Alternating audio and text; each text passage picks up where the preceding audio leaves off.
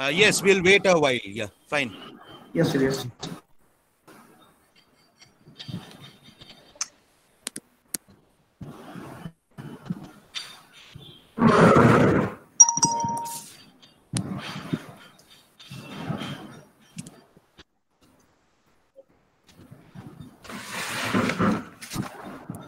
A very good morning to all.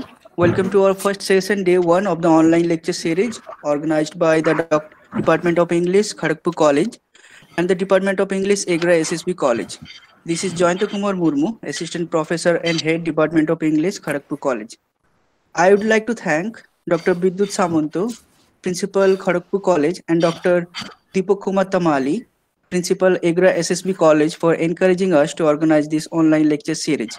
I would like to thank Dr. Saurabh Nag, Ondathana Mahavidyalaya, and Sri Tanmoy Kundu, Midnapur College, for helping us to reach out some of the eminent speakers on our panel, and Mr. Srikanto Bosak, who is helping us to stream this series live on YouTube. I would also like to thank my dear colleagues and students of our department. Without them, this would never ever be possible. Now, I would like to request our respected principal, Sir Dr. Bidut Samanto, to deliver the inaugural speech.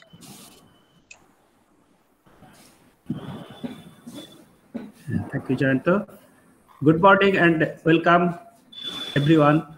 We are going through a very difficult time due to COVID-19 pandemic and subsequent lockdown.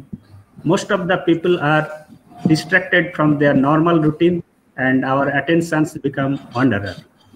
In the beginning phase of lockdown, we, we all of us were unable to plan what to do today and what to do tomorrow. Our students community has been affected most adversely. Their attentions become wanderers. At this juncture, we thought of a routine of online classes. Thanks to advancement of technology and our teachers, our teachers broke the lockdown of their mindset and came forward with their upgradation in ICT and started online classes for students of all the departments of our college. Although online class is not a replacement of classroom teaching, most of the students upgraded themselves with the ICT and joined online classes. The situation also created an opportunity for the distant people throughout the world through online classes and lectures. We can also hear out those respected teachers until now who remained out of our reach. I am proud of the English department of our Kharagpur College who has prepared a wonderful routine for the next two weeks. It has created an opportunity for the students of our college and neighboring colleges to listen to some of the great teachers in their respected fields. I'd like to thank Dr. Deepak Kumar Tamili, Principal of Egra SSB College and his English department for joining hands with us to make this series a success. Dr. Tamili is the senior most principal in our state. I convey my regards to him. I would also like to express my heartfelt gratitude to Dr. Somipendra Banerjee from Gaurbango University and Dr. Jaideep Sharangi from New Alipur College. They will address our students today. I would also like to thank those eminent teachers from different corners of our motherland and who will join us throughout this month on this lecture series to be run from 17th to 30th June. I hope the students will not let their minds wander. Rather, you enjoy this wonderful routine for the next two weeks and keep yourself engaged in this uh, in, the, in studies and other activities, including physical exercise and and social service. I am hopeful that we will overcome this COVID-19 pandemic situation and all of us will come back to our classroom soon. I wish this lecture series a grand success. Thank you everyone. Stay safe and stay connected. Thank you. Thank you, Principal Sir. Uh, now I would like to request respected Principal uh, Dr. Deepak Kumar Tamali from Egra SSB College to deliver a few words. it is a great privilege and honor to me in welcoming all academicians, students, teachers, and participants in 14 days online lecture series organized by Department of English, Kharagpur College, and Department of English, EGRA SSB College. I also express my thanks and regards to Dr. Vidyut Samanta and teaching staff of EGRA SSB College of and of Kharagpur College.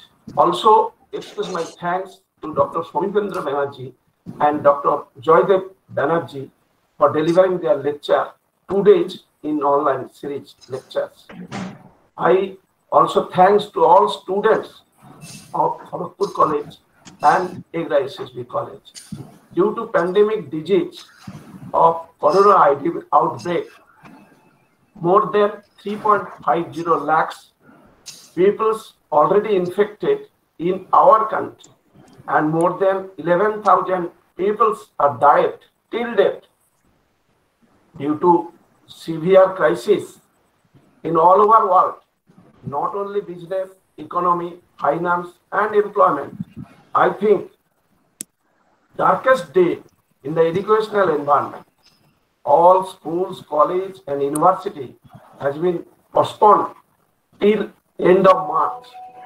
And more than 1.4 billion students are affected from their regular teaching. Although MHRD and UGC has taken initiative to introduce online studies, but majority of the students, those who are residing in rural areas or remote areas, they are deprived.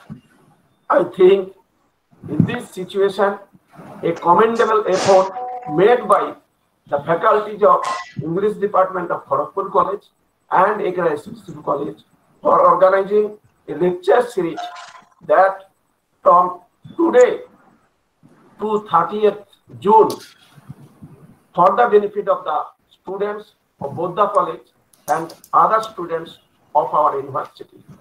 I lastly express our resource person thanks and regards to our resource person delivering their lecture from today to 30th June for the benefit of our students committee. Again, I thanks to Dr. Vidyut Samanta, principal of Kharagpur College, for his untiring effort and teachers of Kharagpur College and also colleague of EGRA SSB College. I think our seminar lecture will be a grand success. Thank you, everyone. Thank you, Dr. Tamili, for your encouraging uh, speech. Now I would like to request Dr. Somipendra Banerjee to start his lecture. But first, let me introduce him to all of you. It's my privilege to introduce Dr. Somipendra Banerjee. Dr. Banerjee has been teaching English literature in the postgraduate level for more than a decade. He has completed his PhD from Visva-Bharati, Santiniketan on historiography and politics of post-independent Indian English drama. He leads the drama club of University of Gaurbanga and acts and directs plays with his students. These include Brecht's Galileo and Santra Soptok, an adaptation of Caryl Churchill's Seven Jewish Children in 2018-19. He received an international travel grant to present his research at the International Federation of Theatre Research Conference at University of Sao Paulo, Brazil in 2017. In 2019, he completed the prestigious course from the National School of Drama, New Delhi. His areas of interest are modern Indian theatre, 19th century Bengali theatre, and gender studies. Today, Dr. Banerjee will speak on the topic of artifice, gender, and performance, a reading of the way of the world. Dr. Banerjee. Uh, yes, uh, thank you uh, very much, uh, Jayanto. Uh, my regards, uh, my respects to uh, the, the principals of Kharagpur College and EGRA SSB College for, uh, for, for giving this wonderful introduction. And uh, of course, I mean, to the organizers, uh, the English departments of uh, Kharagpur College and EGRA SSB College as well, for uh, uh, you know, for, for, for making this initiative. And I'm really privileged to be the first speaker here. I, I, have seen the, the list and I've seen that many eminent persons are, are coming up. Dr. Joydeep Sharangi will be speaking today. Uh, Amrita of Visva-Bharati will be speaking. Uh, will be speaking. and, and lots of other very, very eminent resource persons will be speaking. so, okay, so we will start, but I'll just uh, because see we have been at our uh, university we have been taking online classes for quite some time. So uh, I would just uh, I, I if if anybody if, if the students are not uh, very used to uh, or, or conversant with this, I would just request something that already has been said. Everybody should turn off their microphones. Okay, otherwise there will be a constant feedback. A camera also, but and and yeah, and when you are when you are entering, please please press the ask to join button. Uh, otherwise, you will start present. Uh, right, Joyanto, we have a presentation. You can uh, you can start it uh, uh, right now, uh, and and we will talk and go with the presentations as well. yes. Some of our yeah, some of our students from the University of Gaurbanga are also here today.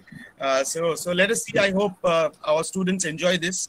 I mean, everybody. I hope will enjoy this. Right. So the title of my paper today is Artifice, Gender and Performance, uh, a reading of the way of the world. Now, uh, yeah. So, so I would, uh, what I would do, I would uh, try to take a look at uh, critically. I'll take a look at the way of the world. I presume that uh, the students have read the text and they have, they are more or less aware of the text because in this brief one hour, I won't get the time to to touch upon all the issues, but of course I will try to uh, deal with certain major issues.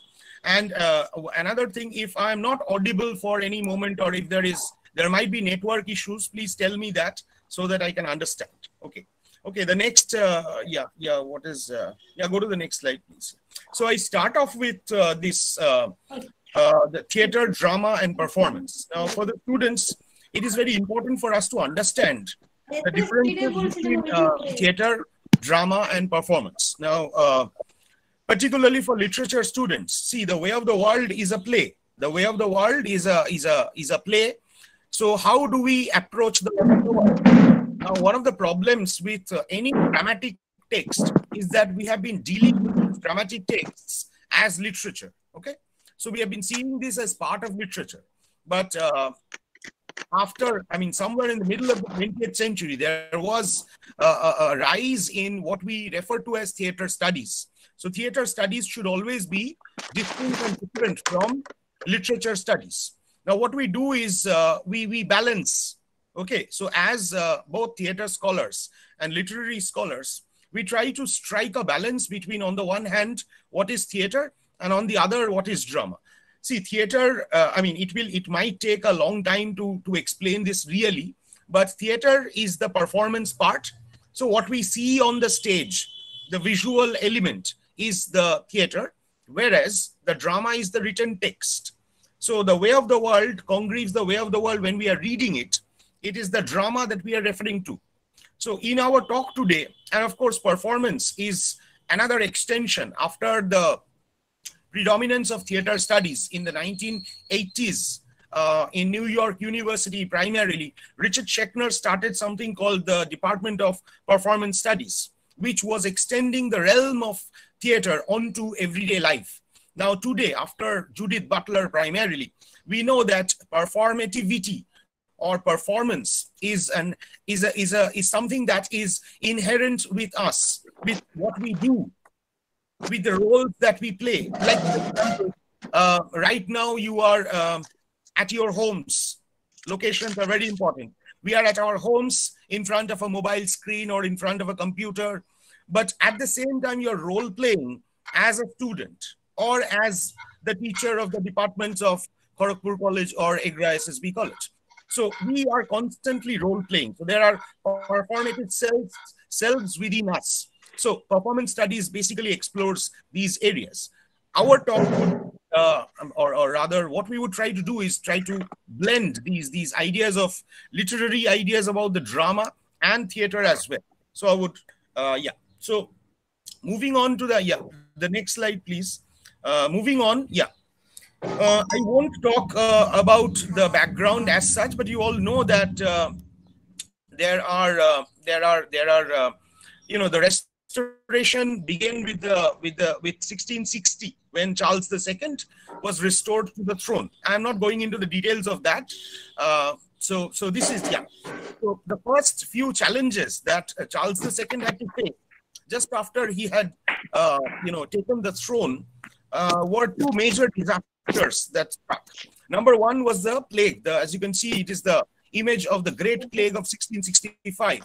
Now, um, in these COVID-19 days, there have been many seminars, webinars actually, on the plague, on the pandemic, and we have been reflecting back on the idea of the plague. Now try to uh, locate the, the, the faces of these people. They are, they, they are quite nonchalant and the dead bodies are being removed on these cartwheels. Yes, the next image.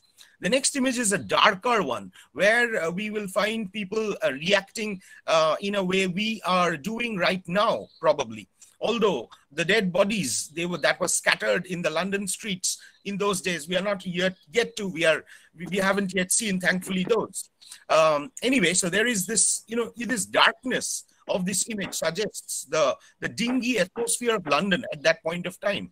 And, uh, you know, London was, was did not have any kind of sanitation practices proper sanitation measures, which led to a rise in the in the plague uh, cases. And of course, they were not proper uh, you know devices to fight. The next image is an interesting one that I would like to share with you. Uh, is that of the the plague itself? Uh, I mean, the plague doctor itself. And the plague doctor is, uh, uh, is uh, you know, this, this was the mask or this was the attire that the plague doctor used to wear. And look at the beak in particular that would, you know, allow the plague doctor to maintain the distance that uh, he was supposed to do while, while curing the patients. Okay, the next one. So this is, uh, the plague was one devastation. And if, as if the plague wasn't enough, the very next year, uh, what struck uh, London was the Great Fire. So in 1665, the Great Plague, and in 1666, the Great Fire of London. It was a dry uh, summer. People had gathered logs of woods, and they were preparing for a for a terrible winter. So, which is why the when the fire, uh, you know, you know, struck, it spread rapidly, and the fire had burned for three continuous days.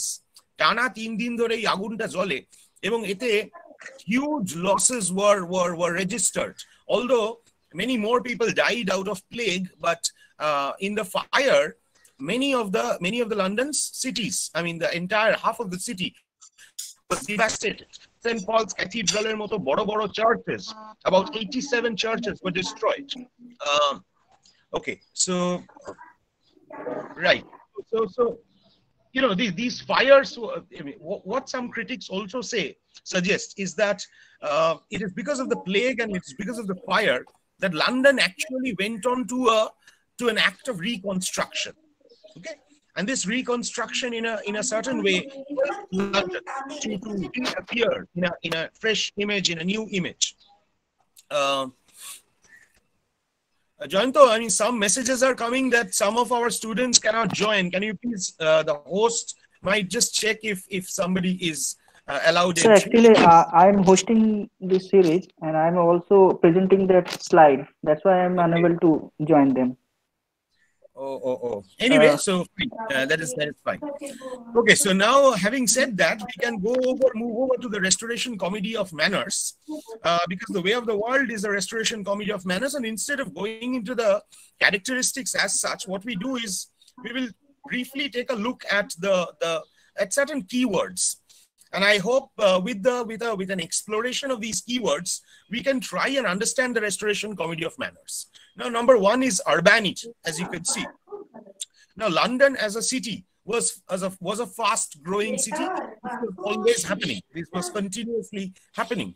Now in particular during the restoration after the restoration the population of london was greatly increasing because of the shifts in socio-economic patterns after the return of Charles II.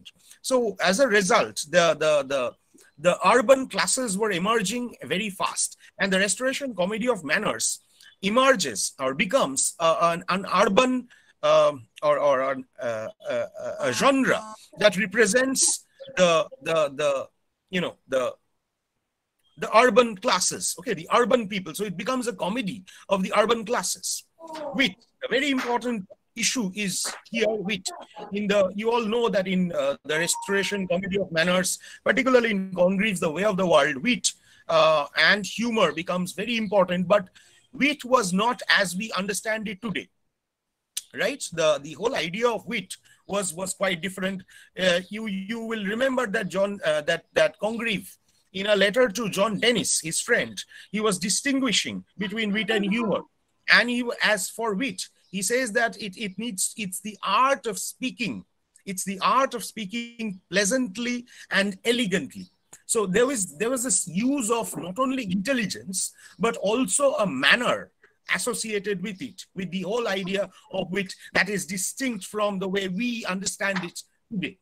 Right, and you should also, you know, uh, I would also write, like to refer here to Bonamy Dobrée. Bonamy Dobrée's Restoration Comedy is a very important work in this regard, and Bonamy Dobrée is referring to the art of the verbal pyrotechnics. You know, there's this flashy verbal brilliance that we always come across in the way of the world and in other restoration comedies as well. So the verbal pyrotechnics is a, is a term that Bonamy Dobrée introduces here. And it is also very important here that uh, uh, Bonamy actually quotes John Palmer.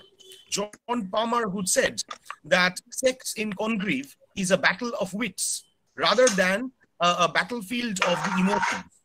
So sex in Congreve is a battle of the wits rather than a a, a battlefield of emotions. So you can understand how sex or, or sexuality or gender is, is strongly associated or connected with the whole idea of wit and, and uh, the virtuosity, the verbal ingenuity, the raillery, okay, the, the innuendos that we constantly come across in a play like The Way of the World.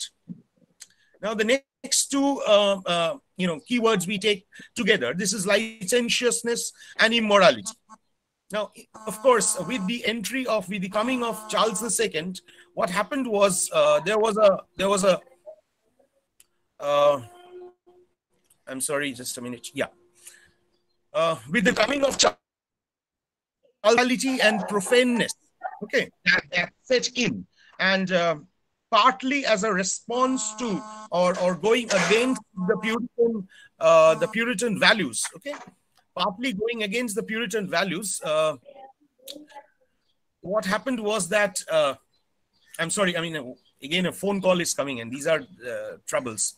So, so uh, yeah, so as, as a response against the Puritans, uh, immorality was setting in, okay? Immorality was, was constantly setting in and a certain kind of a profaneness was, was coming, coming back.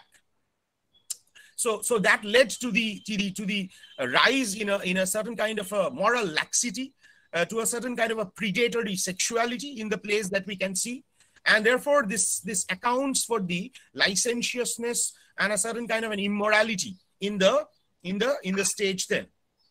Okay, next we have artifice. Now, artifice is very important. Artifice and artificiality.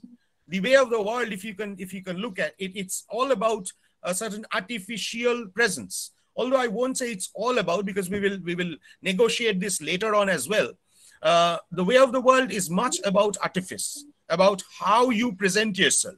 So there is a lot of tension between appearance and reality, and appearances hardly were what was real. See, this is something that is distinctly different from what the Renaissance was promoting or projecting. The, in, in the Renaissance, the external nature was a, a, a, symbol, became a symbol, became an extension of internal self. So the, so the person, uh, what he appears would also be what he is in reality. This was extreme, uh, this, this uh, we, we get the contradictory picture of this image in the, in the restoration where we see that the appearances and the realities are quite distinct. People were using masks so uh, if I, I won't get the time, but but this is a very interesting issue that is uh, coming across, that is going through my mind. Okay, uh, because we are we are using we are becoming masked people nowadays. But in the Restoration, not only the Restoration, but from the Renaissance onwards, I mean, there was a very uh, significant use of the masks. Okay. Now, um, yeah, so aristocracy is the class. Now, this was a new class, the Restoration Comedy of Manners and the Way of the World. As you as you can see, see all of these people. What do the men do? Mirabell, Fainall, era, era, ki kore, era ki চাকরি korte যায় হ্যাঁ বাসে চড়ে কি এরা বা ট্রেনে local ট্রেনে করে এরা চাকরি করতে যায় না ঠিক আছে so they are the aristocracy the aristocracy doesn't go to work the idea of job or the idea of a of a you know of a of a paid kind of an employment wasn't there and the aristocracy were were basically living on their property which is why property becomes an important issue and these plays were reflecting the elitist class now why this is happening i will come back to this later on yeah the next the last point is is that about fashion. Fashion became a very important statement during the, the, the restoration and and um, well charles ii introduced new kinds of fashion. Um, charles ii introduced and in, in, in his in his uh, various documents charles ii instructed men of the court the nobility to use a particular fashion to use a particular dress so the outward appearance or the outward artificiality of the restoration people uh, the restoration stage particularly had a lot to do with the changing fashions. And you see elaborate costumes were worn. You can if you recollect any image of congreve or dryden or uh, alexander pope even up to the 18th century you will see that they are wearing wigs. Wigs okay or periwigs or perukes uh, there is a reference to these wigs even in the way of the world so these wigs were worn by uh, men, and and some people also resist. Uh, I mean, some people also questioned this use of the wigs by my men and accused them of of certain kind of an effeminacy, right? So and women also wore you know elaborate. Uh, yeah. So so so this was there. Right. So these are the these are the keywords with which we would like to uh, understand the restoration comedy of manners. And having said that, what we can do now is we will go to the text. Quickly, we will go to the text and and briefly I will talk about the way of the world uh, and the and the thrust that I, that I would like to make in this particular uh, brief presentation. You see, the year of the Way of the World's first performance is very important in this regard. I hope all of you know this, that uh, the Way of the World was first performed in, uh, uh, in 1700. Eh? And 1700 was a turn of the century uh, event. You see, already, already the restoration comedy of manners was in some kind of a decline. Because uh, you see, if you look at the restoration period in English literature, now we can uh, try to look at this once again. It, is, it, it extends from 1660 to 1700. Some critics say that it extends up to 1720. Okay? The restoration period in English literature. But when we understand the restoration politically, then it extends from 1660 to 1685 when Charles II died and Charles II was replaced by James II. And you also have to understand that this is not the way of the world. We often look at the restoration comedy of manners and we look at the background of the restoration comedy of manners uh, as a, a, kind of a continuous uh, movement of Charles II and his uh, court. But it is not the case because there are other, you know, rulers who are coming in. And, and therefore, the influence of Charles II or the ethic of Charles II uh, is, is uh, minimized later on. For example, in 1685, uh, James II comes to the throne, and uh, then the Glorious Revolution takes place in 1688, where William and Mary, William of Orange and Mary, they start ruling. So by the time Congreve's play is performed for the first time, it was William and Mary's reign. And William and Mary were very entirely different from Charles II. Remember that, that the court had become more decent compared to what they was were during Charles II's time. And there was a rising Puritan opinion. There was a rising middle classes, which is why all these are reflected in the way of the world. What I'm suggesting is that the way of the world is a brilliant balance of uh, what is the best of the restoration comedy of manners and at the same time it is it is acting as a bridge towards the emerging comedy of the next century that is the sentimental comedy so in the way of the world what we have is a movement away from the restoration comedy of manners towards the sentimental comedy of uh, to the sentimental comedy while retaining the basic aspects, the basic features of the restoration comedy of manners. And remember that the way of the world was not a success, was not a stage success. When we read these dramas after 300 or 400 years, we tend to forget their stage histories, but it's very important. You see, the way of the world was not a success because people did not like the way of the world. Then it is only later on in history that way of the world has emerged as a, as a crucial text, as a crucial intervention in what we understand as the restoration comedy of manners. So, on the other hand, this this movement from uh, towards sentimentality can also be understood in this sense that uh, it was also reflecting the tensions between an earlier licentiousness and a later or an emerging ethic which is based on mutual trust. This is a very important issue. Okay, because you see, if you look at the, the plot, Paul and Miriam Mueschke, a very, very important critics on the way of the world, they have suggested that the plot is based on a legacy conflict. The plot is entirely based on a legacy conflict. That is, who will own the property. Many of the restoration plays were concerned with issues of property, issues of marriage, right? Now, uh, but but but this but this, if you look at the play, then it is a battle between two groups. There are intrigues and there are counter intrigues, right? So on the one hand, it's the intrigue of Mirabell to get Millamant, which is uh, a kind of a semblance of a true love. And Mirabell and Millamant, uh, and, and there are, uh, you know, obstacles in their path, which is provided by uh, Mrs. Marwood and Mr. Fainall and uh, things like that, others like that. So, so this this this contest is basically a contest between, on the one hand, uh, sincere love, mutual trust, and on the other, immorality and licentiousness. So this movement is very central in order to understand the way of the world properly. We understand this shift in, in the basic, you know, ethos of the play. Uh, right now, now we will. Uh, for this is primarily for the benefit of the students. There are two or three sections which I would like to highlight from the text. And um, um, I hope, as I told you, this is the first uh, uh, issue that I'm picking up is in Act 3. Okay. Now, in Act 3, we see that uh, foible has come. Foible has appeared uh, to Lady Wishfort, and Lady Wishfort wasn't aware that where Foible had gone. Mrs. Marwood has said that, you see, I have seen Foible with Mirabel. হ্যাঁ এবং একটা কিছু কিন্তু ওরা মানে সমস্যা কিছু একটা হচ্ছে আপনি কিন্তু ফয়বেলকে চেপে ধরুন ঠিক আছে লেডি বিশ্ব আপনি ছাড়বেন না।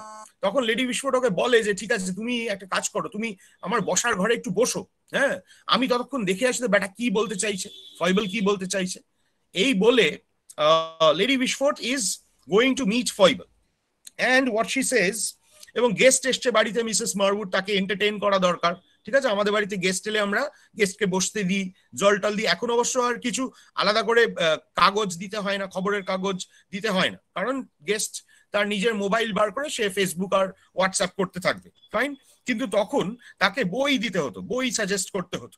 তো সেখানে কি বলছে দেখো dear friend retire into my closet that I may examine her with more freedom you will pardon me dear friend I can make bold with you there are books over the chimney চিমনির কাছে কিছু বই রাখা আছে। Quarles and Prynne uh, short view of the stage with Bunyan's works to entertain you. Now, the problem with this is that, you see, these books are not meant for entertainment. These are purely Puritan books. By making them as books for entertainment, Congreve is belittling them, okay? Making them, you know, uh, demeaning those books, number one. Second is that by attacking these Puritan writers, he's, he's making an, actually a parody of these Puritan writers because he's making those people read those books who would have no impact whatsoever, because those people would not read the books at all. তাই না? Mrs Marwood কি এখন বই পড়বে? না, কি করবে? Mrs Marwood কান পেতে শুনবে। ফয়বল আর মিস লেডি বিস্ফোর্টের মধ্যে কি কথোপকথন চলছে? আর এখানে যে বইটা, দ্বিতীয় যে বইটা রেফার করা আছে short view of the stage এটা হচ্ছে জেরেমি কোলিয়ারের সেই বিখ্যাত প্যামফ্লেট যেটা সিক্সটিন নাইনটি এইটে পাবলিশড হয়, which is a short view of the immorality and profaneness of the English stage. And this pamphlet was regarded, or rather is regarded, as one of the strongest uh, criticisms of the Restoration Comedy of Manners and its immorality. And Congreve was responding to that, right? So, so Jeremy Collier was attacking Congreve uh, because of the immorality and profaneness of the Restoration Comedy of Manners. Some critics say that The Way of the World is an answer to Jeremy Collier's essay. So Collier's position here is very important, and Collier uh, has basically has basically attacked the, the position of the restoration comedy of manners. Very soon after, in the same scene, when Foible has come and uh, Lady Wishfort, a tensions set for a realized courage her makeup has all gone. See, once again, artifice. We're coming back towards artifice. Her makeup is gone. And uh, Lady Wishfort bolts it. Uh, let me see the glass. Cracks, says thou. Why, I'm errantly fleed. I look like an old peeled wall. Thou must repair me, foible, before Sir Rowland comes, or I shall never keep up to my picture. So there was a picture, and I cannot keep up to my picture. I cannot keep up to my picture because Sir Rowland is coming. Okay. Now this is this is very interesting because uh, the picture was once drawn when Lady Wishfort was probably younger, and the picture is beautiful, right? But Lady Wishfort is no longer beautiful; she has grown old, and this picture is not an authentic representation of Lady Wishfort's self any longer. So the artifice and the art and natural, the binaries are, are being explored by Congreve. Now, what Foible says, I warrant you, madam, a little art once made your picture like you. And now a little of the same art must make you like your picture. Your picture must sit for you, madam. অর্থাৎ ওই একই art দিয়ে এবারে মানে যে যে brush একবার পিকচারের ওপর বোলানো হয়েছিল if you remember you can you can also recollect the picture of Dorian Gray by Oscar Wilde, okay? So সেই যে যে যে ব্রাশ এক সময় ওই পিকচারটা বানাতে সাহায্য করেছিল সেই একই ব্রাশ এবার আপনার মুখের ওপর পড়বে so that you look like your picture. So remember that this is a this is a strange case of life imitating art. And through this congreve is criticizing the restoration artificiality also. Remember that the uh, that the that the comedy of manners the restoration comedy of manners is probably one such genre that was representing and simultaneously critiquing, satirizing the society that they were talking of. That is the aristocratic elitist society. Fine.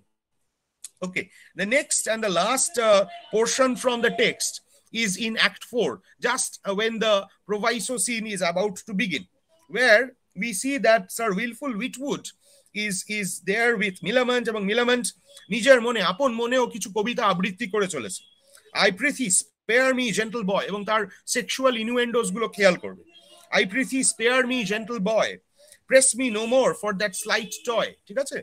তো আমাকে spare করো and press me no more and your cousin যাই হোক ইতিমধ্যে sir Wilfull এসছে তখন আবারও বলছে I swear it will not do its part though thou dost thine employ'st thy power and art natural easy Suckling Millamant বলছে আপন মনে। ও উইলফুলকে পাত্তাই দিচ্ছে না because Wilfull represents the countryside okay? In a play in the restoration comedy of manners that is that is basically an urban uh, you know world the are there is a contrast between the country and the city that Congreve brilliantly, you know, you know, re represents or builds up. And here Sir Wilful Witwoud doesn't understand the the fashions, the the discourse of the of the city. So তখন sir Wilfull বলছে anon Suckling natural easy Suckling বলতে Millamant কার কথা বলেছে poet suckling এর কথা বলেছে ঠিক আছে জন সাকলিং এর কথা বলেছে এবং এবং এবং সেটা বুঝতে না পেরে স্যার উইলফুল বলছে সাকলিং ও লিটারালি নিচ্ছে so Wilfull has taken that word literally suckling মানে baby one who sucks no no no such suckling neither cousin not stripling I thank heaven I am no minor আমি minor না মিলামেন্ট বলছে আর rustic ruder than Gothic. Jao, bhago ekan থেকে, ঠিক আছে? You, you don't understand me. But you see, Sir Wilful realizes that he has made the mistake and he says, Well, well, I shall understand your lingo one of these days, cousin. In the meanwhile, I must answer in plain English, right? So it is, it is also, I mean, the difference between Sir Wilful Witwoud and Millamant is in the inability of Wilful to understand, to gauge what Millamant is actually talking of. Now, this scene is continued, and after a while, Mirabell comes. ঠিক তার আগে Millamant বলছে, like Phoebus sung the no less amorous boy, like Phoebus sung the no less amorous boy, enter Mirabell, like Daphne she as lovely and as coy like Daphne she as lovely and as coy. Now this is this is a couplet from Edmund Waller's poem. Remember that both John both Suckling and Edmund Waller were important Cavalier poets, important influences on Congreve and the Restoration world as such. So so what is what is shown here is that Mirabell matches Millam Sweet. So Congreve is basically pointing it out that whereas Sir Wilful Witwoud does not understand what Millamant talks of, Mirabell is a perfect match for Millamant because he can complete the couplet that Millamant had begun. Now, this doesn't end here because this couplet is actually referring to a mythological story of Apollo and Daphne. Now, Daphne was a nymphiad, and Apollo, being the god, was pursuing uh, Daphne. Daphne said no. Daphne didn't want to, you know, and this pursuance was, of course, sexual in nature. And Daphne ultimately transformed herself into a laurel, into a bay leaf. So instead of giving up, instead of giving herself to, instead of you know surrendering herself to uh, uh, to to Phoebus or Apollo, what Daphne did, she transformed herself into a bay leaf, and she got transformed. Now, uh, this this uh, there is a backstory to this. I mean, basically, Cupid wanted to take a revenge on uh, on Apollo, and he shot the golden arrow of love to Apollo so that Apollo fell in love with Daphne, and he shot the silver arrow of hatred onto Daphne so that Daphne would never fall in love with Apollo. So that was the kind of revenge that Cupid, uh, the naughty boy, took uh, on Apollo.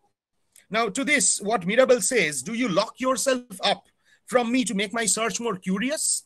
Or is this pretty artifice contrived to signify that here the chase must end and my pursuit be crowned for you can fly no further? তোমার তো আর fly করার কোনো জায়গা নেই So look at the options that Mirabell gives. This is where I would also like to draw attention to the whole idea of uh, of of gender and sexuality as it appeared. Now, what we refer to today as toxic masculinity might be something you can read here as well. Because Mirabelleর মধ্যে এই অপশনটাই আসে না যে মিলামেন্ট হয়তো সত্যিই না বলছে see this is a problem that that is still persisting in some way or the other if we are enjoying films like kabir singh uh, or, or, that matter right so uh, so in, uh, the girl when she says no we always i mean the it's the, the toxic masculinity always believes that this is just an artifice she is just trying to you know make it more curious now of course congreve for congreve this option also doesn't exist because millamant mean, she has he has to show that Millamant loves mirabell and she will fall for him. And it is an actually a kind of a make made up an artificial uh, uh, posing that that Millamant is always making. So so mirabell also says that. And okay, so of course Millamant accepts, and we move on towards the a very important section, which is the proviso scene. Remember that the proviso scene begins here, not not before the, that. We often think that act 4 is the proviso scene. No the the proviso scene is is is back when we uh, when we come to to this this particular part. Okay? Now uh, this is where i would also once again draw attention to bonamy dobrée. Bonamy dobrée refers to something called sex antagonism as one of the driving forces of a play like the way of the world sex antagonism which is uh, more than just licentiousness and according to Dobrée, this is a way of understanding new experiments about social living, about you know that that that sex and antagonism is emerging from the mechanism of adjustment between men and women within the ambivalent institution of marriage. Because in the proviso scene, that is what exactly is happening. There is a, a kind of an exchange uh, in terms of uh, in terms of what Millamant is expecting out of that marriage, what Mirabell is expecting out of the marriage. And in a way, what they are doing, they are they are very carefully that is why the proviso scene is so important using the sex antagonism they are undercutting they are subverting the predominant um, accessories of restoration marriages which are based on mistrust. So they are making fun of that. They are satirizing that right? Okay so this is basically what i had to say about the text. I mean of course this is not enough. There are many other issues but now we will return uh, to the to the presentations. Uh, uh, Jointo, can we just come back to the presentation? Yes. And uh, so I hope you have understood uh, by this time that we are talking of, we were talking of the way of the world from a particular perspective. Now, yes, now the part of the, the later part of my talk, I mean, whatever is, uh, I think I have about uh, 15 to 20 minutes more uh, to, to speak of. So in that, what I would like to problematize is this notion of gender and this notion and the way we have understood, we need to understand the theater. You see, the theaters reopen with the with the coming of Charles II now, if you remember, the Charles II is uh, against the Puritans, and the first thing that the Puritans did, or the Puritans were, were against the theaters. They were the anti-theatricals, and the first thing that the Puritans did in 1642 was to close down, was to shut down the theaters. Now, what will Charles II do when, when he comes to throne? The first thing that he does is to reopen the theaters. Okay. Now, this reopening the theaters, remember that Charles II had spent his exile in France. And not only in France, but in other countries of Europe as well, the Netherlands, Spain, uh, you know, and Italy to a certain extent, and primarily France. So he's bringing the culture of France with him when he is entering England and taking up the throne. Now, when the theaters reopen, several changes take place. You see, the theaters were shut down, they were razed, they were devastated. So the theaters had to be rebuilt. And already I have spoke to you as uh, you know these two disasters of 1665 and 1666. So Charles II was having a very difficult time in handling these situations. So what he does is that uh, he anyway, so he had to reopen the theaters, and he immediately issues two royal patents to William Davenant on the one hand and Thomas Killigrew on the other. Okay, who are instructed to uh, construct two new theaters. So the two new theaters come up. One is Drury Lane and the other is Dorset Gardens. Now, these become very different theaters compared to what we saw the last time during the Renaissance. Okay. And so what are the new things here? Movable scenery. We come across something called movable scenery now. The, the, the scenes and the setting sets could be moved. There was an elaborate and a lavish design of these theaters. They were these were extravagant, uh, huge, and very you know very very special kind of designs that that came up. Christopher Wren was the designer, the architect of these theaters. So in a way, those theaters uh, ended up being quite similar. Now the actor, the entry of the star actor, the notion of the celebrity actor starts, you know, gaining ground from here and these include uh, some people i will come to these. And of course the entry of the woman on stage. This is what we will uh, slightly focus on. Because this is the first time in england that women uh, entered stage. You know that uh, earlier uh, in in no theatrical tradition women were allowed on stage. It's only in a later development that women started participating as actresses on the stage it's at a later development. If you look at the history of Bengali theater, the Bengali public theater only in the 19th century for the first time saw women on stage, whereas India has a rich tradition of, of theater. Okay. So the entry of women on stage takes place. Now, next slide. Yes, I mean, uh, yes. This is the image of the Dorset Gardens Theatre if you look at it, you can understand the, the, the deep engravings, the exquisite work that is there on the out outside. And, um, you know, so it's a very lavish and a very extravagant. And this is not a gate, mind you. It is gate, not a stage. This is the stage. And what we can see in the background, if, if it is not clear to you, that is not a window or that is a painted scenery because you can see two ships also this is the set for the Empress of Morocco. this is the set for the Empress of Morocco. You see, we understand it. This is also something that students should always uh, remember that we need to question. We need to question the canon, the canon, the English canon, which is which is uh, which has been handed over to us because we have understood the restoration in terms of restoration committee of manners only. But you see, a play like The Empress of Mo Morocco is not a part of the restoration comedy of manners.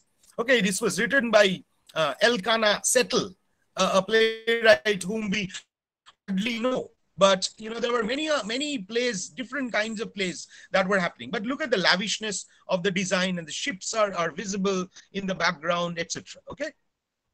Uh, the next image would be uh, that of the Drury Lane Theatre, the Theatre Royal. Yes, again, uh, a restoration extravagant stage that was created okay the drury lane now william Davenant and thomas killigrew they had these royal patents and the the system of the the um, what should i say the actor manager also became very prominent uh, then yeah the next image is is that of yeah this is sir thomas betterton you can see the wig এই যেটা দেখছো ওটা কিন্তু ওর আসল মানে it's not his actual hair it's his wig Hmm.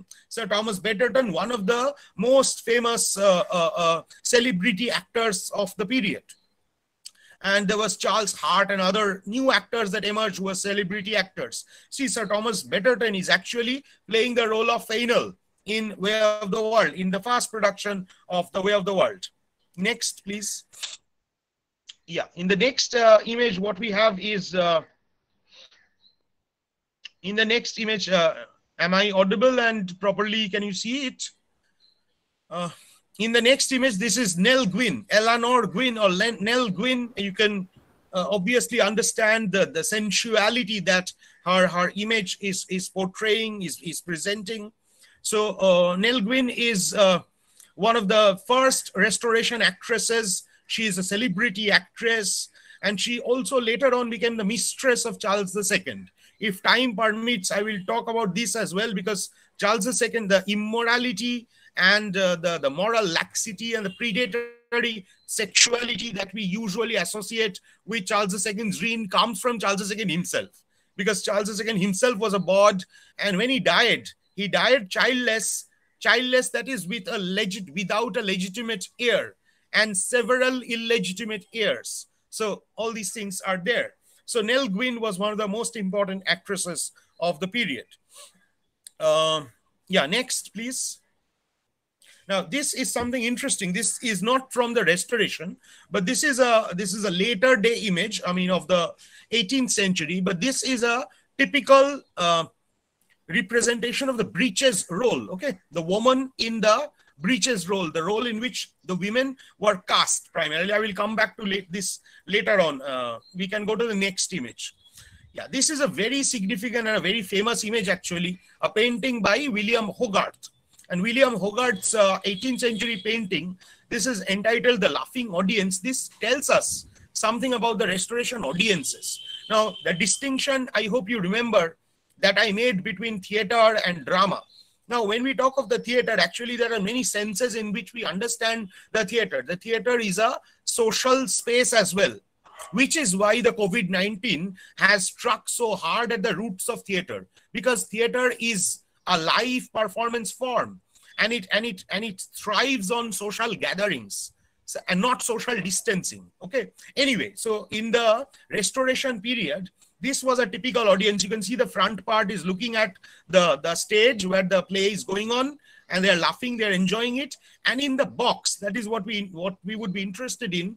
There is the nobility who you can see what they're doing. They're flirting basically with, with the girls. And who are these girls? These girls are the orange wenches. There was a practice during the restoration period of uh, girls who would take oranges and sell those oranges to the audience in the middle of the play itself right? Particularly in between the long pauses of the scenes. And these girls would later on be used as uh, messengers to, to deliver some messages and therefore establish some kind of a relationship with the actresses.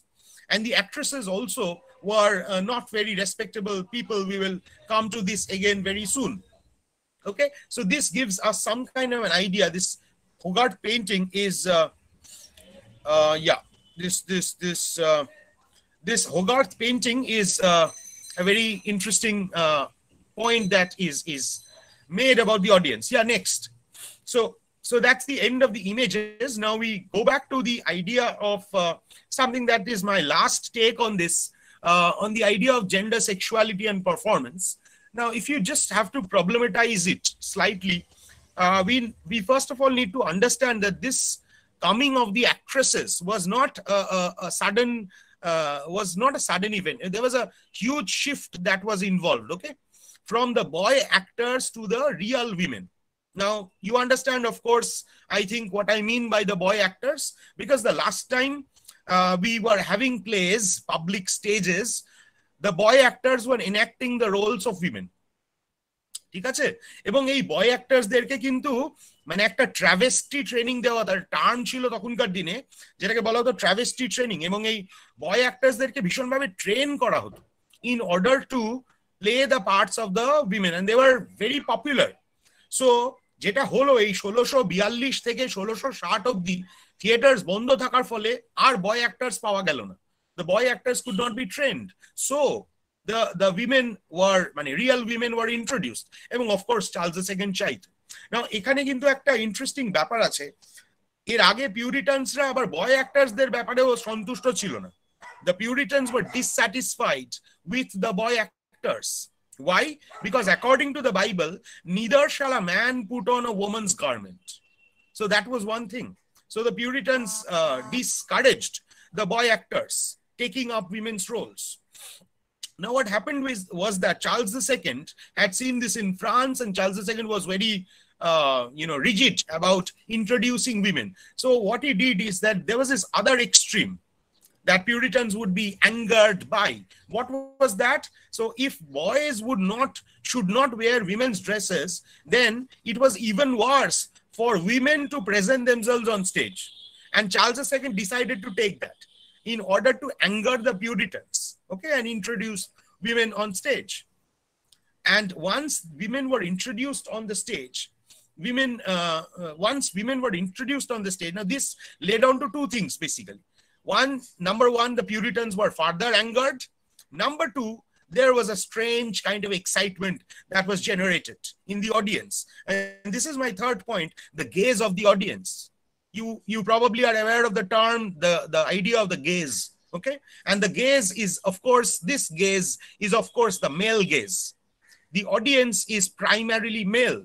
And the stage, with the introduction of women, was catering to the taste of the male audience to a predominantly masculine look okay a voyeuristic pleasure of the male. And therefore there was a sexualization and objectification of the women on stage. Now once again just pause and think that uh, whether the introduction of the woman can be or should be seen as an act of emancipation for the woman an act of uh, upliftment, moral upliftment of the women, or uh, is it further, you know, bringing down the position of the woman? It is difficult to answer this because I would say both. Why both? Because at the at the at the same time, this is the women are introduced for the first time, but they are primarily prostitutes because no uh, respectable woman would act on stage this was the same thing that happened in India as well many years later.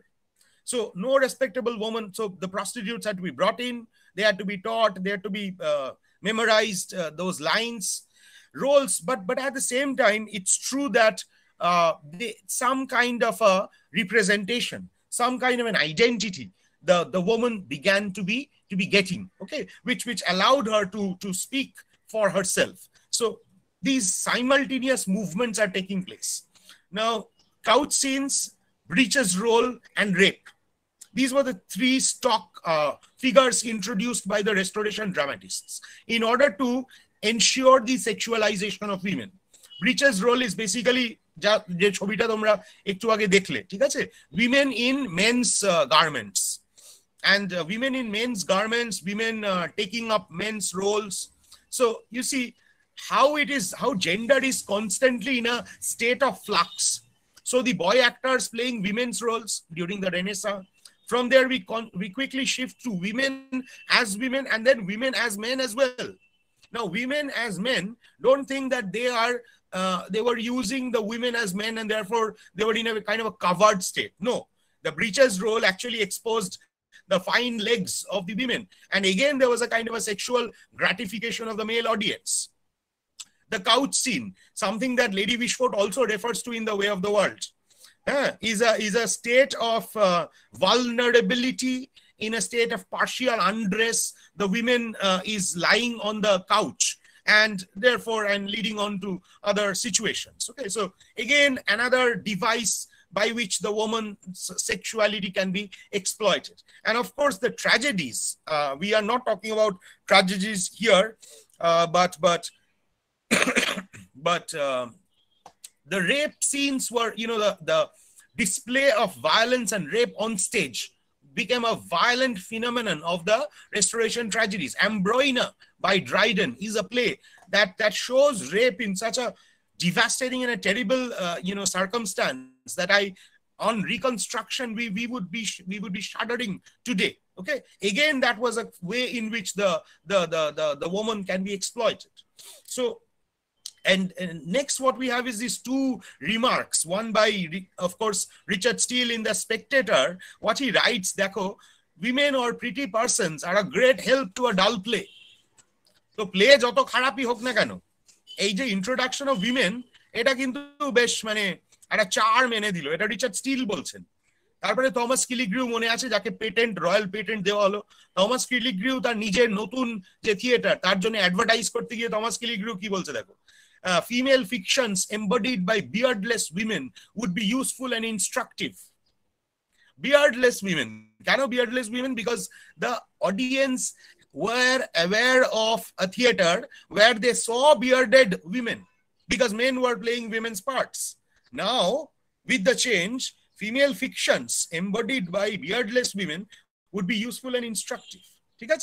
Okay, the next.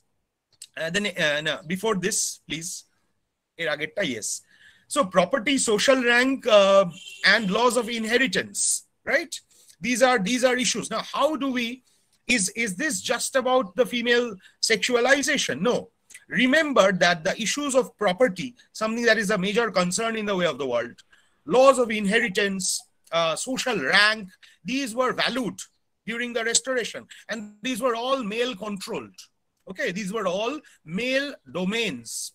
Now, female sexuality was a threat to these areas of male control already, uh, you know, done by Charles II because his his uh, in inheritance. I mean, there was a problem with his inheritance because he had illegitimate children everywhere, all of whom were were claiming, and uh, some of whom Charles II himself recognized and made count here and duke there and all sorts of things. So, so in order to in order to contain uh, this this this power that seeming power that the female seem to enjoy through female sexuality that female sexuality had to be objectified that is what i'm trying to suggest now kirsten pullen a very important critic what she's suggesting দেখো male order কি করছিল would marginalize the specter of female power by converting the actress into a sexual object ঠিক আছে so one way of controlling this female sexuality would be to transform it into a kind of a sexual object আবার প্যাট গিল প্যাট গিল তোমার তোমরা যদি interested থাকো তাহলে প্যাট গিলের এই এসেটা তোমাদের পড়া উচিত প্যাট গিলের এসেটা is is available in the Cambridge companion to English restoration theatre which is a very uh, important book as uh, uh, as far as the restoration is concerned restoration comedy of manners is concerned okay the voice is cracking somebody saying. I think these are network issues. I mean, uh, I'm sorry about that, but but let's uh, move on. You can see this, okay? So Pat Gill বলছে the ridicule and exposure of sexualized females in the restoration comedies takes place. ঠিক আছে? Now the exposure এবং ridicule of sexualized females. এইটা এখান থেকে I would like to come back to the way of the world. Now this is true, you can see, for Lady Wish Mrs. Marwood, and also to a certain extent Mrs. Fainall. I am not bringing in Millamant deliberately because any talk about the way of the world concerns Millamant. Millamant as the voice of the woman, Millamant as uh, her identity and all that. That is true. That is there. But try to let us also look at the ways in which other women are marginalized.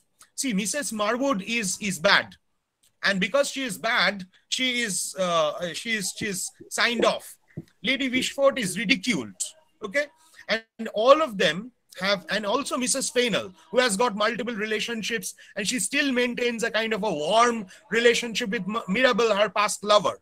So all these women who had relationships earlier or, or their sexuality can be questioned are marginalized. Whereas Millamant, the only virtuous character in the play, is you know shining brightly. So this this this message is very clear in Congreve, right? and Pat Gill's last comment you can also see, দেখো, তিনটে ক্যাটাগরিতে প্যাট গিল ভাগ করছেন restoration committee of manners এর উইমেনদেরকে এক হচ্ছে sexually active hypocrites যারা স্কিম করে, যারা বিট্রে করে, যারা এন্ট্রাপ করে, যারা ডিসিভ করে। দুই হচ্ছে নেইভ অথবা ইগনোরেন্ট উইমেন যারা পোটেন্সিয়ালি অ্যামিনেবল টু সিডাকশন তিন হচ্ছে charming virgins who possess wealth ঠিক আছে? তাহলে এইখানে আমরা দেখতে পাচ্ছি যে অফকোর্স তোমরা বুঝতে পারছ নিশ্চয়ই যে নাম্বার ওয়ান এই যে ক্যাটাগরিটা সেক্সুয়ালি অ্যাক্টিভ হিপোক্রিটস যারা স্কিম করে, তার মধ্যে অফকোর্স মিসেস মারউড পড়বে। হ্যাঁ? মিসেস ফেইনাল কিছুটা পড়বে, যদিও এইভাবে ওনাকে ডিফাইন করা যায় না, কিন্তু because he she is also a part of Mirabell's counter intrigue she is also in that category আর তিন নম্বরটা দেখো এই যে এই যে এই যে কোথায় গেল? charming virgins who possess wealth and wit. This is Millamant, of course, right? Charming virgin who possess wealth and wit. This is Millamant, the perfect kind. আর মাঝখানে লেডি উইশফোর্ড যদিও লেডি উইশফোর্ড ইয়াং নয় তবু lady Wishfort is ignorant and lady Wishfort is unable to handle her okay the last thing that I would like to next slide is briefly just just for to I I think I think I I started after 10 or 12 minutes so i can take at least two or three minutes. Joyanto. Uh, yes, sir. You can. Yes, sir. Right. So so in five minutes I will wind up. So the last part is point is about Lady Wishfort. And this is a quote that I am, uh, you can see is from uh, Mirabell, who says this in Act 2, uh, scene 1, so quite early. And what does he, what does he say? I think the good lady would marry anything that resembles a man, though it were no more than what a butler could pinch out of a napkin. Now remember in those days, butlers had this uh, habit of, of uh, doing something, uh, some kind of a craft work with the napkins. While before serving the food they used to make uh, you know uh, dolls doll like figures. Uh, so that would also they would also make the figure of a man. And so so that mirabell says that somebody would somebody uh, the, so the butler that the man that he makes so Mira, lady wishfort wishfort would marry even that so we have laughed at this. And this is something that has suggested mockery and ludicrousness of Lady Wishfort. Now, why is that? Why do we, I mean, first of all, my question would be to the to the, the students uh, that that do we do you have I mean do you have also have you also felt that Lady Wishfort is, is somebody to be laughed at? Why? Because she is old and she shows a desire if if that is the case, uh, my dear, it's it's very wrong because desire should not have any age. Okay, and and what Congreve is doing is deliberately uh, uh, ostracizing Lady Wishfort. Okay, um, you see, uh, geriatric lust has always been a common theme in in Congreve, and the next phrase that I'm referring to is indigestion of womanhood, widowhood. Later in the scene, Lady Wishfort has this pompous and very artificial speech that she makes to to uh, to Sir Rowland, where uh, Lady Wishfort suggests that there is an indigestion of womanhood, suggesting the the the sexual alienation of the widow. But this has primarily been seen as a an act of aberration. Now, why is this problematic? Why is this problematic? That is where we need to understand gender. I would suggest that this is a gendered attitude. This is a gendered attitude towards Lady Wishfort, towards women in particular, primarily because if the world that you are projecting is one of immorality and licentiousness, if there is the restoration rake, who is the male, who, who, who goes into all sorts of sexual escapades, okay, and that is fine with the male. What is the problem with the woman? So it is because Lady Wishfort is, is showing her desire. And Lady Wishfort is also ridiculed, remember, because she cannot handle her property properly, right? Because of her, um, because of her lack of, of this sense of decorum and uh, her lack of sense of proportion, she is she was she was at the risk of losing her property. But every restoration rake has done that. They've squandered their properties.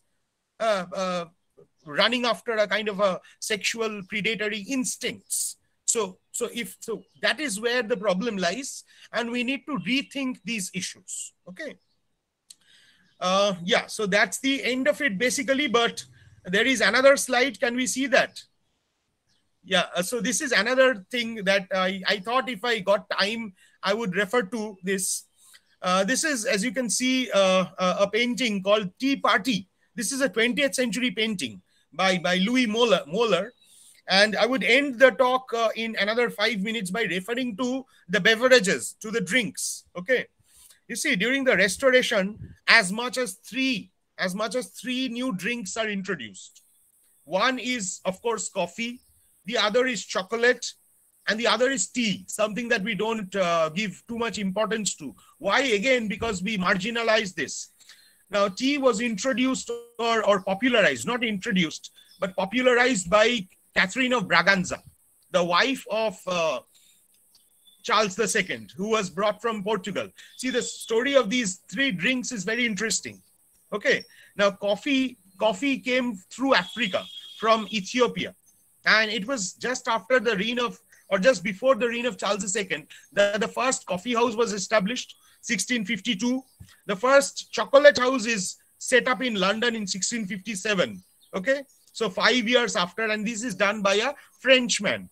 And chocolate is, is brought to Europe by the Spanish from the New World. Europeans found it bitter and they mixed some sugar and they started drinking it.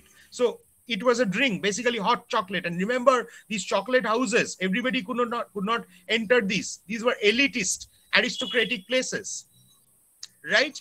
And tea was introduced and by Catherine of Braganza because Catherine of Braganza was from Portugal and Portugal had been introduced to tea through its trades with China. So all these things, these three new drinks actually start coming up. And uh, the last slide, please, is a brief history of something that we all love. So we end on a sweeter note, and uh, that is about the, the chocolate. In the Victorian age, actually, right, in 1860s, uh, the emulsification technique was discovered. So this led on to the emergence of chocolate bars. Before that, এর আগে কিন্তু chocolate matro drink chilo. the Fry's was this company that started uh, it uh, off first and very soon the the leader, we, something that probably all of us admire, Cadbury's Dairy Milk, introduced themselves in the 1870s. Okay, and so that is the journey of dairy milk because a person called John Cadbury established this. And they, they, they, found out that instead of the drink, if we can use chocolate bars instead, uh, it becomes, uh, it, it, it, it was more popular. Right, so on this note, I, I end here. Uh, thank you for listening uh, with, with some patience over this rather long talk, I think. And I hope you have enjoyed this. Okay, over to you, Joyanto, uh, or, or Pothik, I mean, whoever uh, would like to say.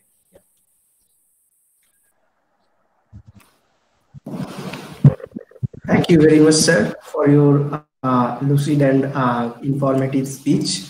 Uh, now, I just would like to uh, ask the participants if they have any query um, to make to our sir. please, if you have any question, raise Sir is here to answer your queries. Hello. Hello, sir. Hello. Yes, you are audible. So, sir, I have a question. So, in the way of the world, in Mirabell, one says that even so, this is the way of the world of the widow in of the world. Means, what is the perspective Congress try to present here? Can you please explain me that?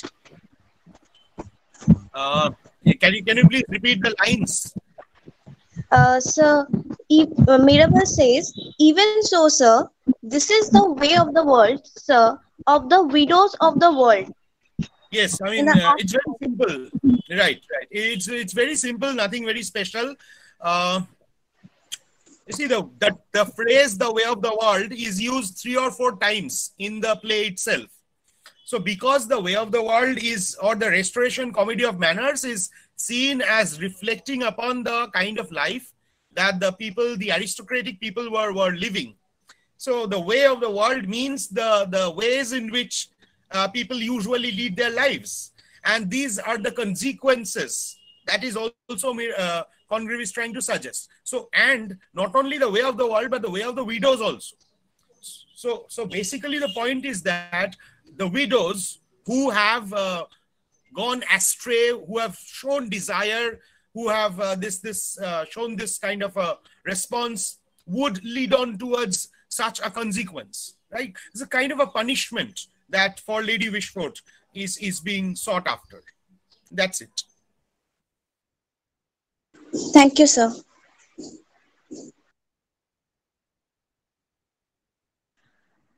The forum is open for all to ask questions. Yes, are there any? Uh, I think there were some questions in the chat box, but uh, I missed that earlier. Yes, sir. There was a question. Uh, Yes, uh, I have found one. Uh, this is an interesting name, Gender People. So, Gender People is asking uh, Do you think the women characters are demanding freedom on the stage, uh, which is not given to them in the then society? Uh, uh, it's a good question. but you see, what do you think? I mean, whose theater is it? We have to understand that first, okay? Is it the woman's theater? how much liberty does the character have to, to speak of his, of his or her own self? Very little, because it's the actor's theater, it's the, it's the actor manager's theater.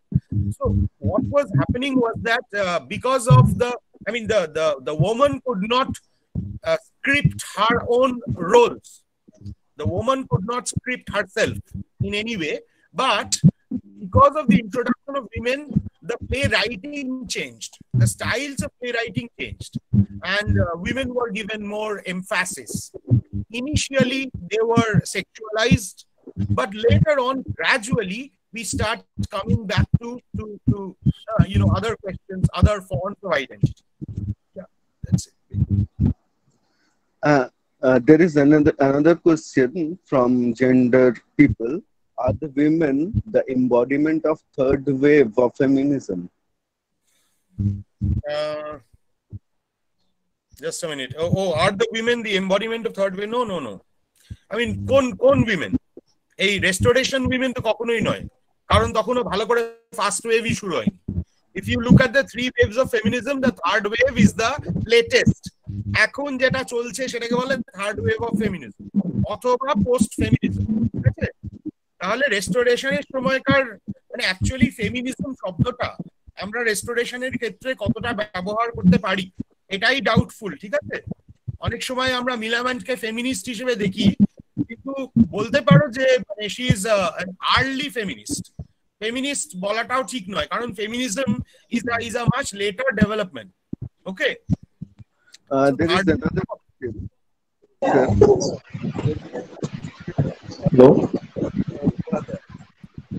Hello. Hello. yes yes Uh, hello, sir. Am I audible? yes Uh, sir, I have a question. Uh, first of all, uh, a lot of thanks to you for your outstanding lecture. Uh, sir, in uh, restoration comedies, uh, comic elements are uh, shown uh, uh, through some uh, through immoral tones uh, with uh, love. And uh, in uh, sentimental comedies, uh, elements are shown uh, through virtuous ways with uh, some tears. And uh, the sentimental comedies emerged uh, as the ultimate uh, consequence of uh, restoration comedies. Sir, my question is here: um, uh, Is uh, sentimental comedy uh, is the uh, is sentimental comedy uh, fully contrary to uh, restoration comedy? Uh, well, you see, I, I couldn't get you uh, entirely, uh, but what you're trying to suggest is that uh, is there is there, if there is a sense of uh, money, a, a cause and effect or a kind of a, a consequence of the restoration committee. Uh, well, Yes. yes. yes and no. You see, there is in in con- in in if you look at the history of the different genres, these are এগুলো তো sub genres কমেডির বিভিন্ন sub genre ঠিক আছে? So তুমি যদি দেখো comedy of manners কিন্তু কমেডি অফ হিউমার্স এর দ্বারা ভীষণভাবে ইনফ্লুয়েন্সড ঠিক আছে? মানে বেন জনসনের কমেডি অফ হিউমার্স কারণ অন ওয়ে অফ দ্য ওয়ার্ল্ডে কিন্তু বেন জনসনকে রেফার করছে। এবং তুমি যদি ড্রাইডেনের এসে অফ ড্রামাটিক পোয়েজি পড়ো, তাহলেও দেখবে যে সেখানেও বেন জনসনের রেফারেন্স রয়েছে। তো কমেডি অফ ম্যানার্স এর মধ্যে এই স্টক ক্যারেক্টার্স বলো বা ক্যারেক্টারের অ্যারেঞ্জমেন্ট বলো বা যেভাবে স্ট্রাকচার্ড হচ্ছে, তার এই জিনিসগুলোর মধ্যে কমিটি অফ হিউমার্স এর যেমন ইনফ্লুয়েন্স আছে, তেমন পরবর্তী যে সেন্টিমেন্টাল কমেডি আসতে চলেছে, সেখানেও কিন্তু there is an influence of the comedy of manners to a great extent but then sentimental comedy তারও একটা তো মুভমেন্ট আছে সেন্টিমেন্টাল কমেডি অ্যাকচুয়ালি একটা বড় সময় এইটিন সেঞ্চুরি একটা বড় সময় ধরে চলছে। যার রেসপন্সে আবার সতেরোশো পঁচাত্তর সেভেন্টিন সেভেন্টিজে have the anti sentimental comedy. Remember the anti sentimental comedies of Oliver Goldsmith or Richard Brinsley Sheridan? They are actually trying to go back or look back the series of which, according to them, had been uh, had not been there in the sentimental comedy. So you see, it's uh, it's a kind of a both a continuation and also a, a corruption of the comedy of manners as well. Yes, sir. I have got.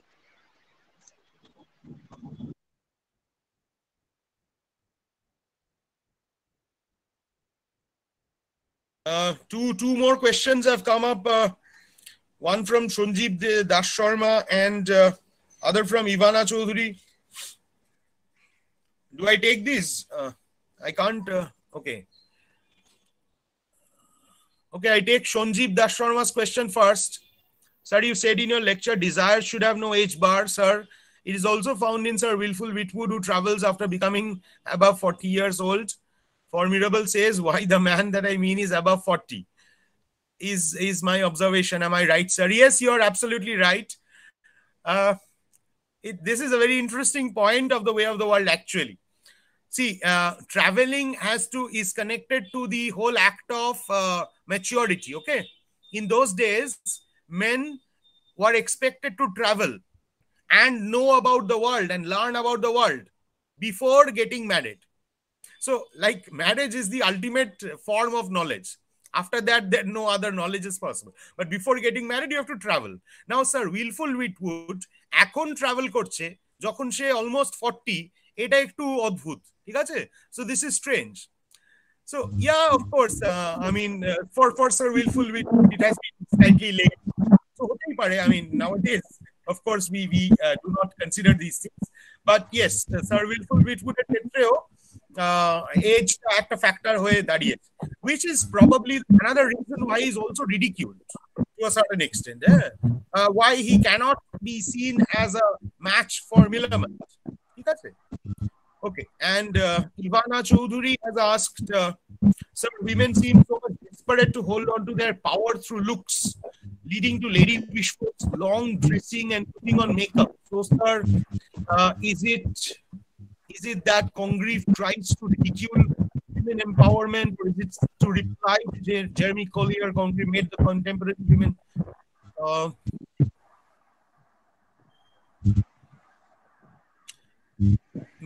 Millamant enjoys the attentions of her, is it of or D? Or ill-matched suitor lavish on her. Uh, well, yes, very true. Uh, women are part of the the fashionable society of uh, uh, of the restoration age. And as i told you fashion uh, makeup artifice is very important. Uh, and congreve is is reflecting upon that.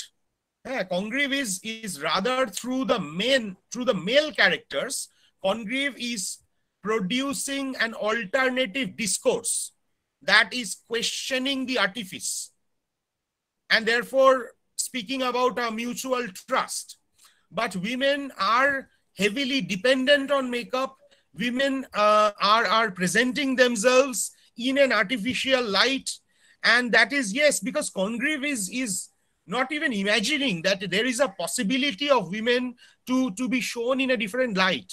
এটা বুঝতে হবে ঠিক আছে তখন রেস্টোরেশনের সময় কিন্তু তোমরা যদি আজকের দিনে দাঁড়িয়ে আমরা না এটা বুঝতে পারব না কারণ এখন অনেকটা চেঞ্জ হয়ে গেছে কিন্তু in during the restoration this was this was something that was very very common that the men এই অপশনটাই তাদের মধ্যে স্ট্রাইক করতো না যে women can be seen as something beyond sexual objects Right? So this this kind of objectification was very strongly present. So that artificiality, makeup, and and the of beauty were always highlighted. Sir, there was another question from Argha Kamal Guharoy. Uh, he asks, British uh, writing of the Restoration era is often called as neoclassical. Why is this, sir? Uh, well, this I, I don't want to answer very much, but but I'll just touch upon this because this is more of a literature question. I mean, true. I mean, very, much. Uh, uh, it's uh, you see the neoclassical age uh, begins from the 1660 onwards and and moves on towards and margin with the Augustan age or the prose reason with the 18th century. Uh, for that, actually, you have to go back to Dryden and Dryden is the, the greatest neoclassical writer. Now, classicism, it's it's not exactly classicism, it's a new form of classicism, a return to classicism, primarily in the way in which uh, the sense of decorum, the sense of structure of a plot, the sense in which we we organize things in the restoration. If you look at the plot of the way of the world, it's very complex and and the the, the, the, the importance on the, the perspective on man that also is a, is is evolving philosophically so all these things have are are because of the neoclassical temper that is that is on the rise. Not only that the prose that is being used if you look at the way of the world it, it uses prose. So the prose that all that is used is also an offshoot of the neoclassical style i would say.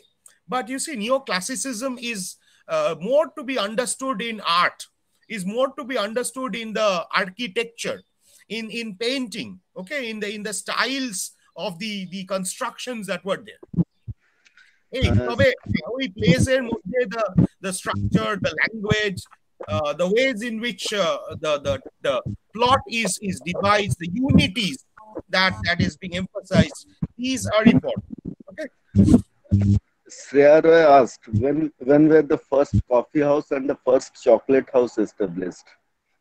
Please repeat the years. 1652, first coffee house. 1657, first chocolate house.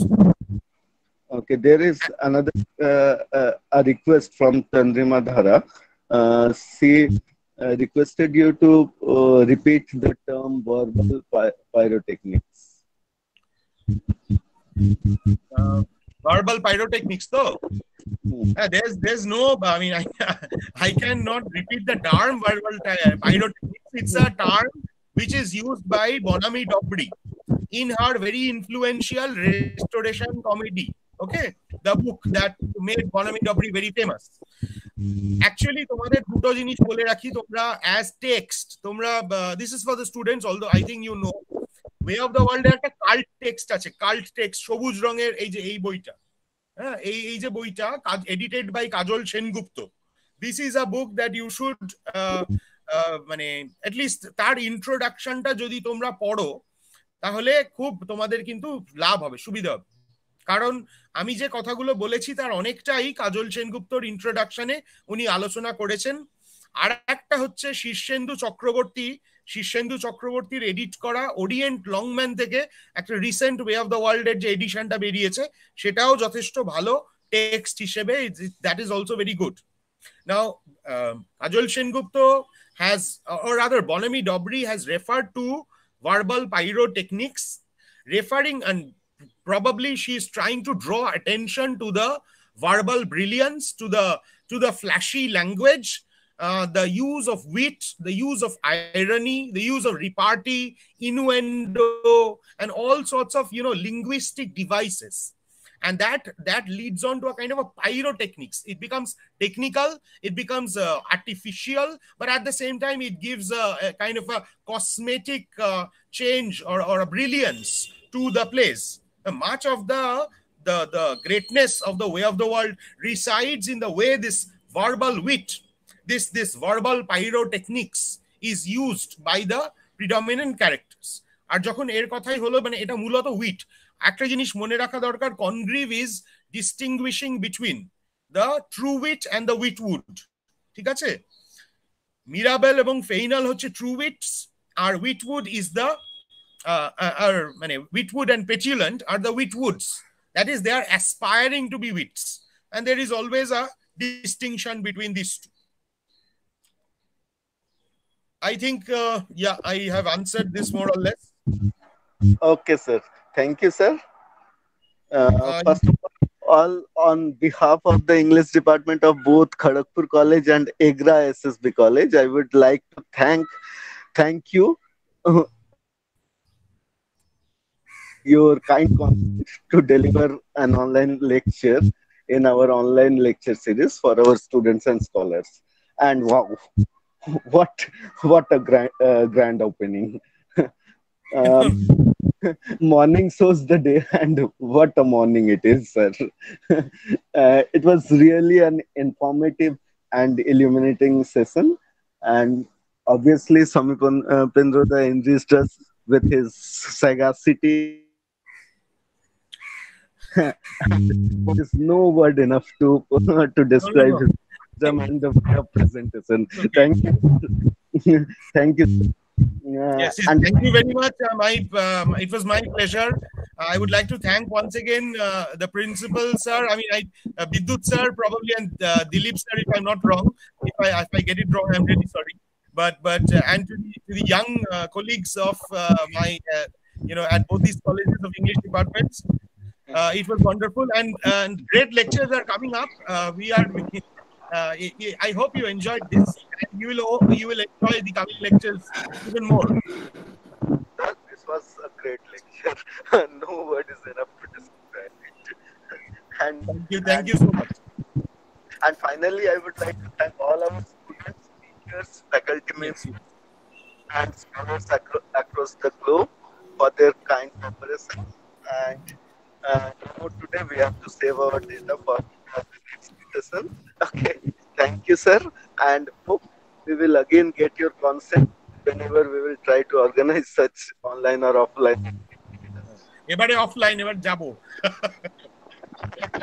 Obviously, sir. yeah Obviously. we all actually we all want to uh, i mean end this and go to the real thing or uh, মানে this is this is not uh, what we really like কিন্তু কিছু করার নেই এই আর কি। ঠিক আছে আমি তাহলে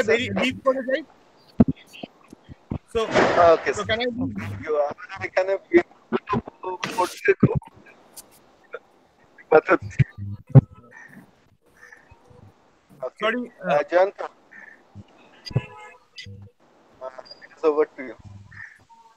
আমি শুনতে পেলাম না। তাই করুন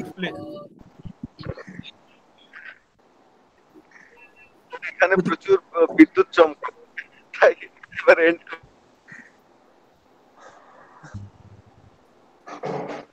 না, আমি আহ, আরেকটু ক্লিয়ারলি আমি বুঝতে পারছি না কিছু বলছেন কি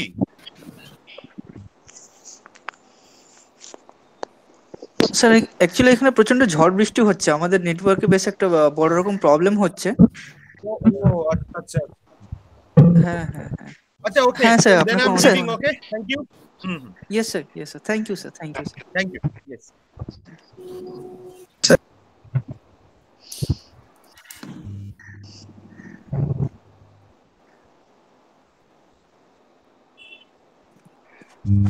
okay. I'm waiting to see everyone in the next session.